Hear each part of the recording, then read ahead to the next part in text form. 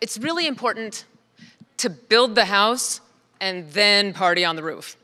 What I mean is that you need to have structure. There's a structure to how commercial copy is written to promo copy, and you need to know what that structure is. And then you can bring in the play state, and then you can come to understand your brand and all of that. But to really be in the winning circle of bookers, you have to understand how the people who write and cast this stuff think about this stuff. So you have to study the structure that's unique to this area of performance. And then you can bring your play state to it. And then you can work on your brand. And then you can learn how to monetize social media. And then you can make a demo that reflects your personal unique style and all of that. But doing things in order and understanding structure and building the house so then you can go party on the roof. Beautiful. Nice.